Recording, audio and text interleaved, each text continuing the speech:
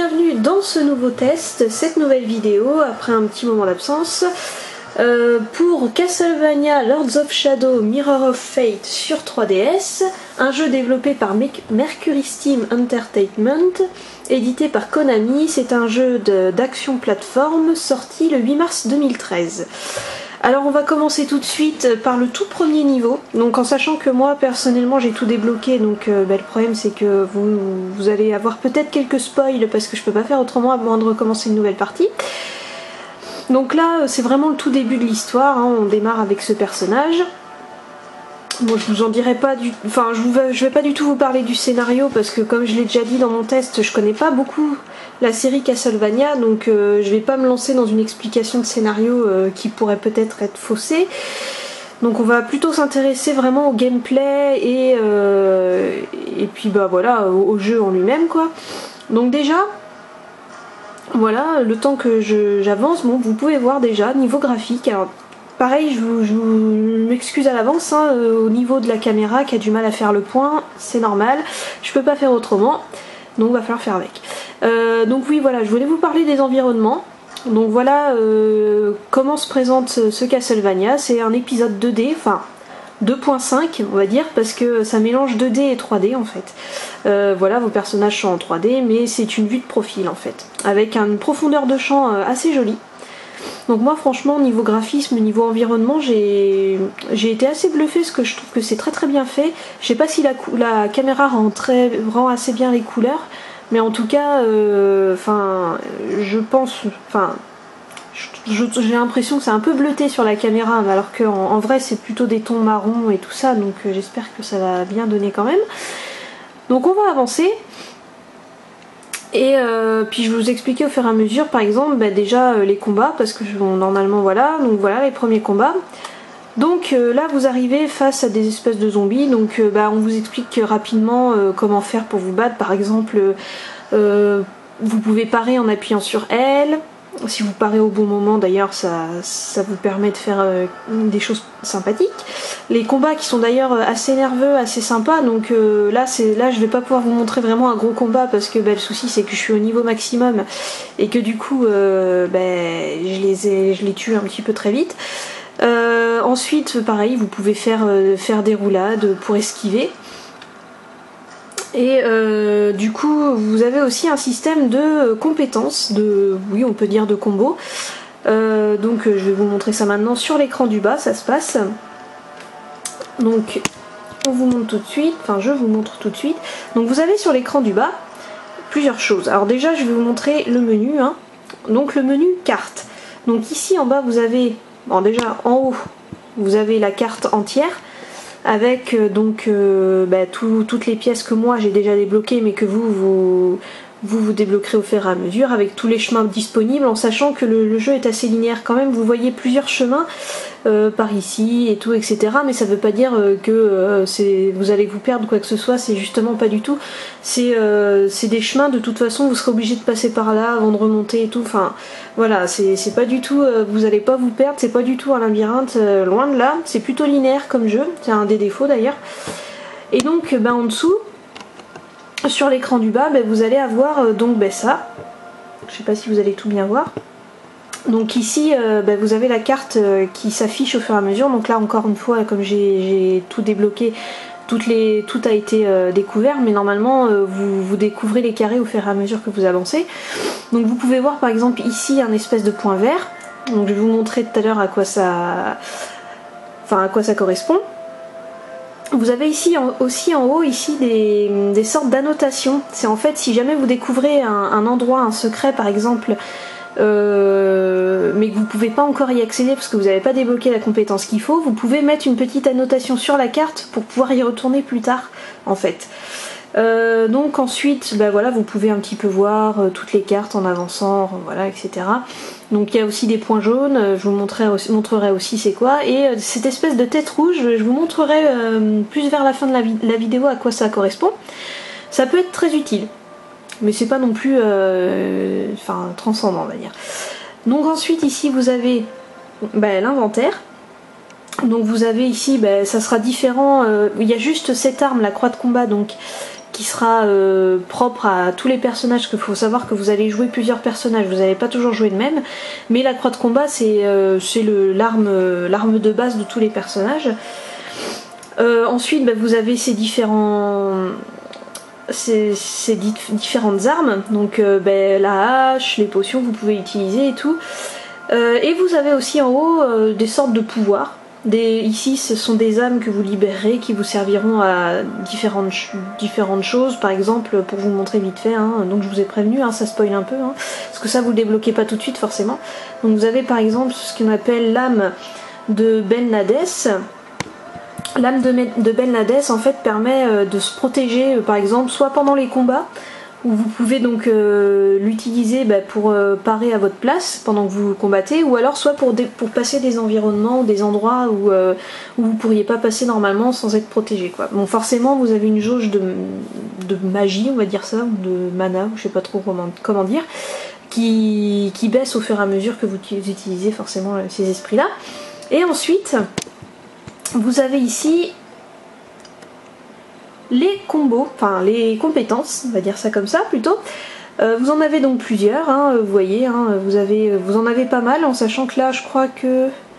Oui voilà, là vous avez... Et puis elles sont un peu différentes... Euh, enfin, je sais pas si elles sont différentes pour tous les personnages, enfin oui, il doit y avoir des trucs différents, mais il y a des trucs qui, se ressemblent aussi.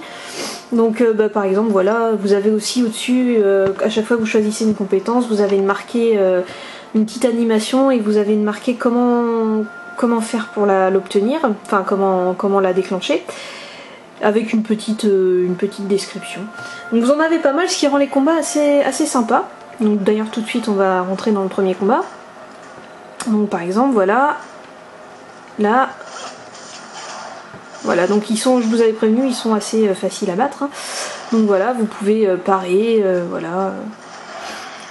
Donc si vous parez au bon moment, forcément ça va, voilà, comme ça. Euh, ça va faire une sorte de ralenti. Donc je vous ai pas montré là, j'ai pas eu le temps parce que j'ai battu trop vite, mais à un moment donné vous avez vu un zombie qui s'est un peu euh, éclairé en, blanc. Euh, ça permet en fait quand, ils sont éclairés comme ça d'appuyer sur R et de faire un finish move. Donc voilà, là je vous montre vite fait la fontaine de vie c'est le point vert que vous avez vu sur la carte, donc ça permet juste de récupérer euh, de la vie, quoi, tout simplement. Donc euh, voilà, il suffit juste d'approcher, d'appuyer sur R et euh, normalement ça vous redonne de la vie, mais là encore j'ai tout au maximum. Donc on va avancer, un petit, un petit passage de plateforme très très simple, donc bon là pareil, les passages de plateforme Bon là c'est le début donc euh, c'est assez simple mais euh, faut savoir après que bon ça devient pas vraiment plus compliqué finalement. c'est d'ailleurs pour ça ça aurait fait ça aurait pu être un très bon jeu de plateforme mais le souci c'est que ben, je trouve moi en tout cas que ça ça manque de, de difficulté pendant tout le jeu d'ailleurs. Donc par exemple là si vous montez tout en haut euh, ben, ça fait partie des choses, des secrets que vous, aurez à débloquer. Par exemple, ici, il y avait un secret à débloquer, donc moi j'ai déjà pris, hein, Normalement, il y a une espèce d'aura violette euh, dessus. Et donc, euh, bah, il suffit de s'en approcher d'appuyer sur R. Donc, par exemple, là, bah, vous, avez euh, un vous, ramassez un parchemin laissé par un garde-mort. Donc, ça va se. Les secrets, en fait, ça va, ça va être soit des parchemins, soit des entrées de bestiaires que je vous montrerai à la fin de la vidéo. Enfin, ça se présente, ou alors soit des, coffres de, augmentant votre, votre votre vie, ou alors votre magie, ou alors vos capacités de, munitions. Donc voilà, et donc euh, ben, je vous ai pas montré tout à l'heure, mais enfin voilà, quand vous allez sur la carte, c'est euh, le nombre de secrets marqué en haut à côté du point d'interrogation. Donc là par exemple sur cette, euh, cette carte, il n'y en avait qu'un seul à ramasser. Donc on continue. Là on va descendre. Hein. Bon là je vais un petit peu, je vais éviter les combats parce que bon ils sont pas très très intéressants donc euh, hop là j'évite. Hein. Vous remarquerez quand même qu'ils sont assez faciles, euh, facilement évitables. Donc euh, bah, forcément aussi ce que je vous ai pas dit c'est qu'à chaque fois que vous vous combattez bah, vous ramassez de l'expérience et votre niveau augmente. Donc vous avez des petites orbes violettes à chaque fois que vous combattez qui... Hop là, je fais le point. qui s'échappent de vos victimes. Donc là, on avance encore. Donc euh, donc c'est sûr que normalement j'aurais eu plus de choses à vous montrer si euh, bah, euh, si j'avais dû j'avais recommencé une partie. Parce que forcément là Le souci c'est que normalement des endroits où il y a un peu des, sortes de boss, ben ils, voilà, ils y sont plus.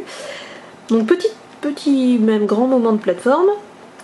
Donc euh, voilà, comme je disais, ça va devenir un petit peu plus difficile, euh, mais sans jamais vraiment être compliqué, dans le sens où vous allez avoir quelques pièges, quelquefois. Quelques pièges euh, où il va falloir sauter au bon moment pour éviter de se prendre des boules de feu ou des jets de vapeur, enfin bon, voilà, mais bon, c'est pas très compliqué. Et là, par exemple, aussi, ce que je voulais vous montrer, c'est que. Ben, je vous ai pas montré, mais je vous montrer ça pendant le prochain combat là. Ce que je vous ai montré tout à l'heure, la hache, et puis euh, vous avez de, ben, une hache et puis des, espèces, des sortes de cocktails molotov, on va dire ça comme ça, euh, autre que votre croix de combat là pour vous battre. Et non, mais il faut savoir que par exemple, les haches, vous en avez euh, que quelques-unes, vous, vous, pouvez en emporter que quelques-unes. Donc, au bout d'un moment, quand vous, aurez, vous les aurez toutes utilisées, il y a un moyen d'en récupérer, c'est de détruire ces tonneaux. Et là, euh, bon, bah, je l'ai récupéré, mais il y, a, euh, y a un petit. Un, truc qui venait d'apparaître, ça me permet de, bah, de ramasser des haches supplémentaires, etc. Donc par exemple, voilà la hache, tout simplement, il faut appuyer sur A et vous balancez une hache. Voilà. Et là, vous voyez, hop, il brille, donc je vais appuyer sur R et un petit finish move. C'est toujours bien sympa. Voilà, donc forcément quand je dis que les combats sont nerveux, là ça se voit pas trop étant donné que bah, comme, euh, comme ils sont pas très très forts les premiers, ça, voilà, donc ensuite, euh, oui voilà, la croix de combat aussi peut vous servir en tout en haut là vous voyez quelque chose qui brille et donc au, tout départ vous pouvez pas y avoir accès donc c'est à ce moment là justement qu'on vous propose de mettre une annotation sur la carte. Mais sinon bah, quand vous l'avez bah, il suffit juste d'appuyer sur R et hop ça vous permet de vous hisser. Donc ça va et puis bah, d'accéder du coup à un trésor que là j'ai déjà ouvert euh, et donc du coup voilà ça vous permet soit de passer des endroits un petit peu comme des grands précipices ou, euh, de, pouvoir vous hisser ou justement descendre en rappel etc. Donc ça vous permet surtout d'accéder à des endroits euh, non accessibles au départ. Et enfin je vais essayer d'avancer un petit peu pour vous montrer vite fait deux trois petites autres choses. on, va, on va éviter de tomber quand même parce que ça va pas, ça va pas le faire. Donc j'avance en espérant que ça va prendre trop de temps normalement non. Bah euh, hop. Alors oui, euh, donc euh, c'est pas très très... Alors normalement ça se situe après. C'est juste pour vous montrer en fait vite fait à quoi servent les espèces de l'espèce de tête rouge que je vous ai montré tout à l'heure sur la carte. Parce que ça peut s'avérer pratique quand vous voulez finir le jeu à 100% parce que bon bah forcément si vous faites que le si vous faites que euh, l'histoire principale sans chercher à faire le jeu à 100%, euh, vous serez vite, euh, vite à la fin. Hein. Parce qu'il y a en tout, il y a trois actes, dont un prologue qui dure pas énormément de temps, qui est juste là pour vous, qui vous sert de didacticiel en fait. et en fait, ben, en gros, comme je l'ai dit dans mon test, moi pour tout faire à 100%, hein, il m'a fallu 14 heures. Donc je trouve que c'est peu parce que ben, il s'agit quand même 14 de 14 heures, mais pour finir le jeu à 100%. Donc, donc c'est pas vraiment énorme, je trouve, pour ce genre de jeu. Après, moi, je connais pas, comme j'ai dit, trop les Castlevania, donc euh, je sais pas. Normalement, je pense qu'à mon avis, c'est plus d'heures de jeu. Donc c'est un peu dommage. Donc voilà une des têtes rouges. Donc euh, ben, en fait, c'est tout simple. C'est ça vous sert à vous téléporter, en gros. Par exemple, je vais remettre la carte. Donc voilà. Là, vous voyez, vous êtes rendu ici. Euh, vous avez une tête, rouge euh, qui est, mise ici. Et donc, euh, quand vous la prenez, bah, ça vous téléporte jusqu'à la prochaine tête rouge. Tout simplement. Là, par exemple, vous voyez, vous avez une bleue et une verte. Les bleues et vertes vous téléportent ici, en fait. Ou l'inverse. Hein. Enfin, de toute façon, voilà, c'est vice versa. Donc, voilà. C'était juste pour vous montrer vite fait. On va la prendre vite fait. Parce que, bah, à part ça, j'ai pas grand chose d'autre à vous montrer parce que justement, euh, le problème de jeu, c'est qu'on en a vite fait le tour finalement. Euh, et comme en plus je peux pas vous trop vous spoiler, ben, je peux pas vous montrer un peu, vous en montrer plus. Donc je vais juste retourner vite fait au menu principal pour vous montrer. Euh, donc voilà, hop, on arrive ici. Je vais quitter donc et aller vite fait au menu principal pour vous montrer vite fait les trésors que vous ramassez, à quoi ils servent. Mais bon, Hein, c'est un peu le cas sur tous les jeux. là. Donc on va aller sur l'écran du bas.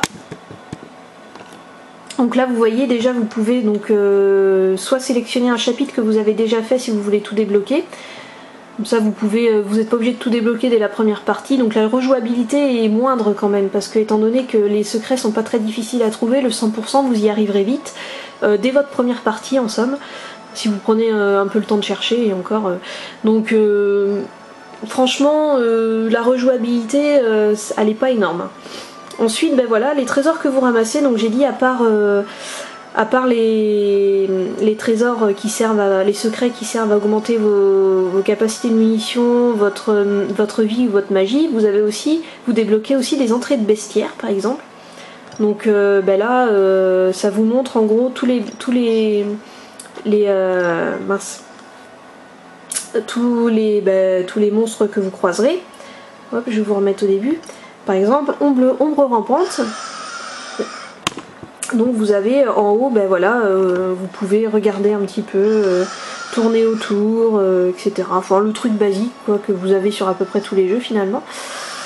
On retourne et puis ben, tout simplement vous avez aussi ce qu'on a ben, les cinématiques, toutes les cinématiques que vous avez débloquées se, retrouvent, se retrouvent là. Donc je vais pas vous en lancer une, hein, vous, verrez ce que ça donne. elles sont assez sympas mais elles manquent un petit peu d'animation quand même. Elles sont enfin, esthétiquement parlant, elles sont jolies un peu dessiné. Ouais, un peu style dessiné quoi, mais, mais euh, bon, elles auraient pu être techniquement un petit peu mieux. Bon ben voilà, c'est tout ce que j'avais à vous montrer. Euh, sur ce, ben, je vous dis à la prochaine vidéo, au prochain test. Normalement, euh, demain, je croise les doigts, demain, soit c'est demain, soit c'est lundi, je recevrai un collector. Donc normalement, il devrait y avoir une vidéo qui suit pas longtemps derrière. Donc ben, je vous invite à aller voir de temps en temps sur mon blog et euh, sur YouTube aussi sur ma chaîne. Donc voilà, donc à une prochaine fois, salut